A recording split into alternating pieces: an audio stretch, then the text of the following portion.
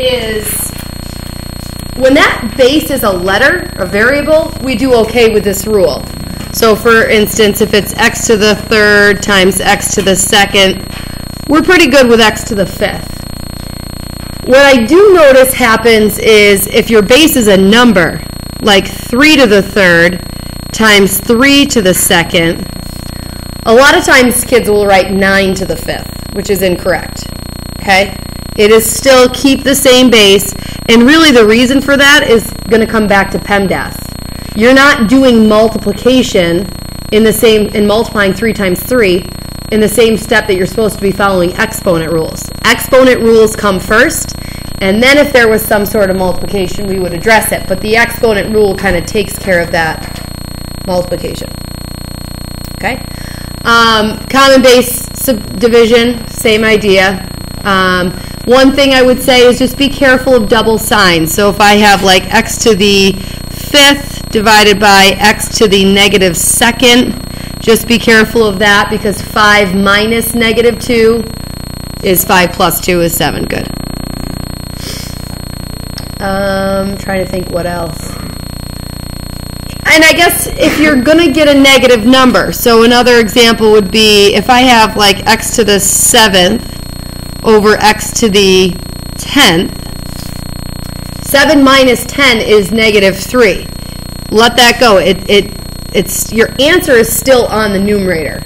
It's just x to that power. Then we will address the negative exponent when we get over here and we get to the negative exponent rule.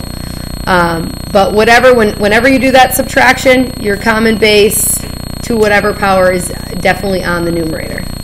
Next one is the power to power rule. So x to the a power, then to the b power. If you ever hear yourself saying to the to the third, to the fourth, kind of double like that, we multiply. That's straightforward. Um, anything to the zero power is one. Um, so usually I would leave all these rules blank and see how many of you knew that. But people will say zero, like something 3,000 to the zero power, they'll say is zero, but that's obviously not true. Yeah, question? Why is it one? Like, how does it just turn one? Um, that's a great question. So I'll tell you. Um, if you think about how exponents work, like what's two to the third power? Eight. Two to the second. Two to the first. Two. When you keep drawing back, what's the what is happening? You're dividing by two. You're right. So if you're moving forward, you keep multiplying by an additional two. If you're moving backwards, you keep dividing by an additional an additional two. So as soon as you get to zero and negative exponents, the thought process of an exponent truly meaning that you take that number and multiply it by itself that many times kind of goes out the window. How can you multiply 2 by itself 0 times? How can you multiply 2 by itself negative 3 times?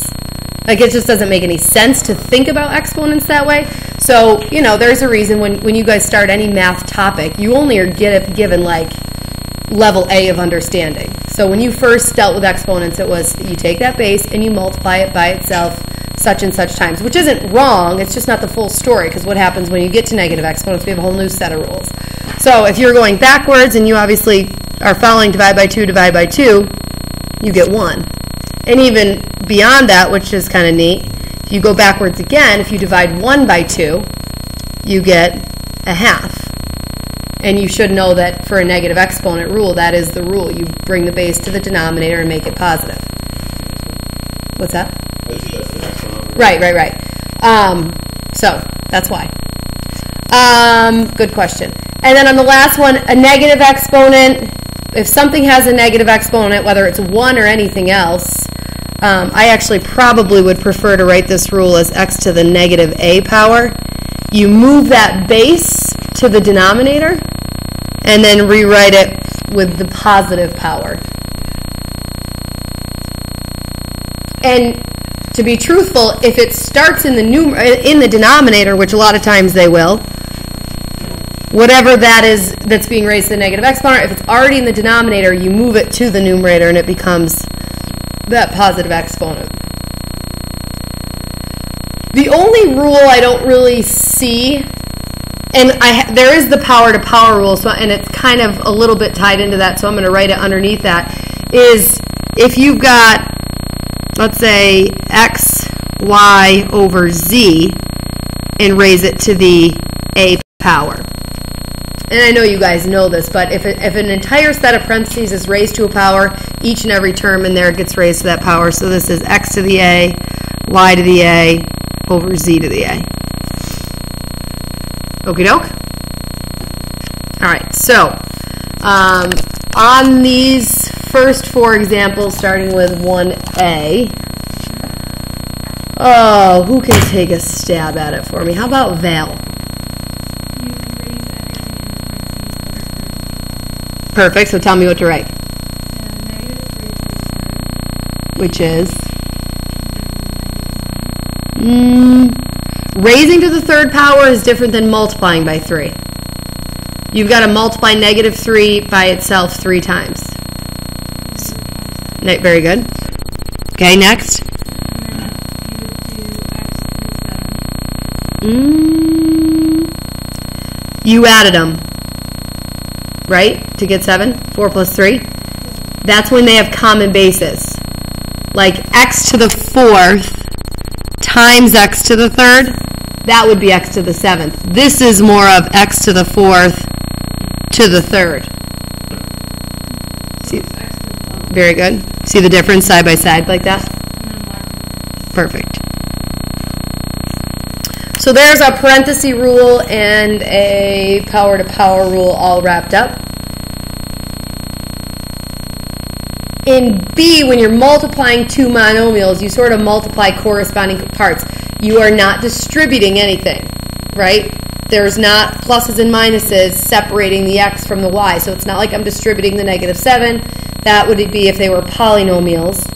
This is just two monomials. You multiply the coefficients to get 14. x times x to the fifth. What's that, Faith? Yep, very good. So we know that there's technically a 1 on that x. And then y to the fourth times y to the sixth is y to the tenth. And that's, Val, you see how there's y's in both spots there? So that's kind of the case of addition. Good? Same thing if you're doing division. Monomial divided by a monomial. You just divide corresponding pieces. So take a stab at that for me, Andrew.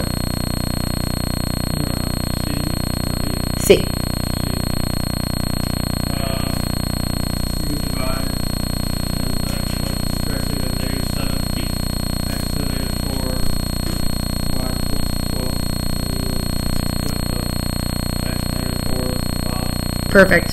Yep. So corresponding divisions, the, the coefficients get divided like regular numbers, because that's what they are. Exponents get subtracted because you're dividing common bases. The double negative hits hits kind of all of it. And then we still have a follow-up step here because that produced a negative exponent. We got rid of one of them from the original problem, just naturally kind of took care of itself, but then we created another one. So the only piece of this that has the negative exponent, lots of times people, maybe not in this case you wouldn't fall for it because something about the negative in front of that 7 would withhold you from that, but only move the piece that has the negative exponent. The, the negative 7 is not being raised to the negative fourth power. So just that moves, we get negative 7y to the 12th over x to the fourth.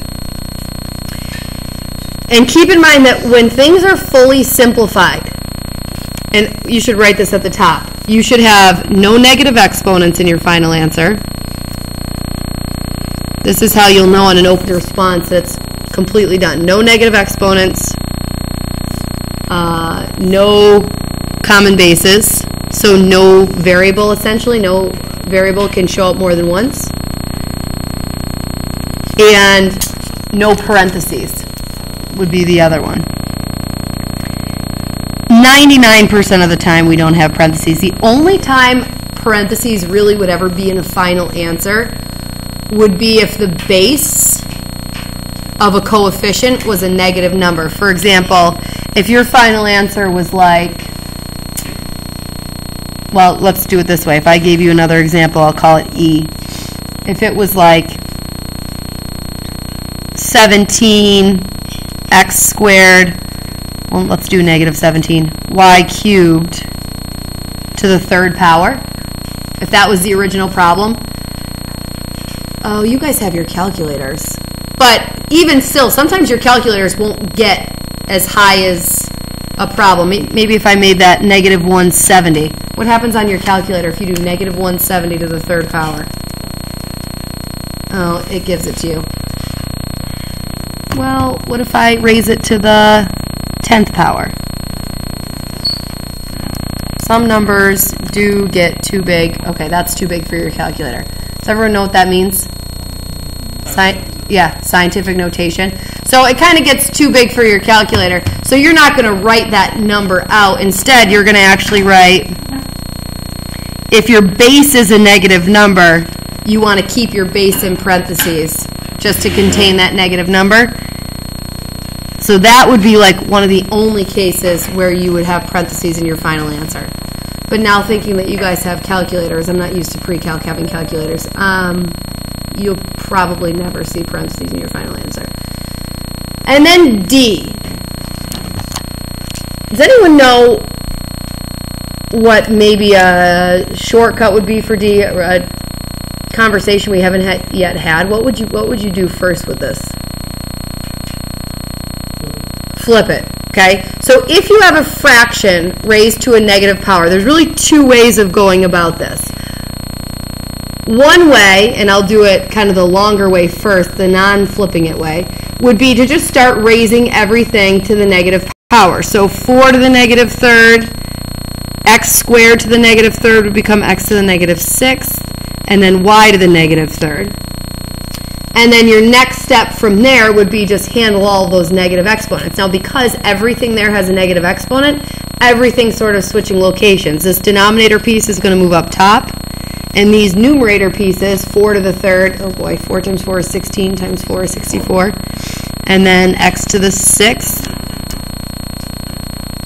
Whereas you saw everything become a negative exponent, therefore everything had to switch.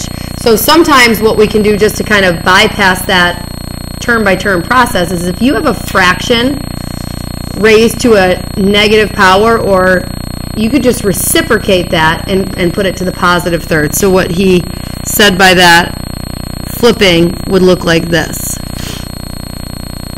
You just flip the fraction and the negative 3 becomes 3, and then you cube everything. y to the third, 4 to the third again gets us to 64, and then x to the sixth. So, in this particular step, I don't know that one was any quicker than the other. They both took two steps, but it, it can be a big time saver in some instances.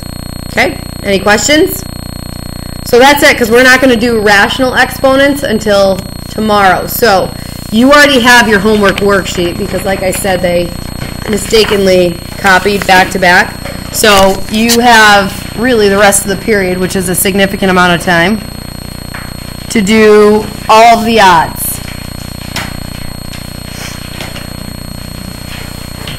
So again, separate sheet of paper. I will throw the answers up on the board.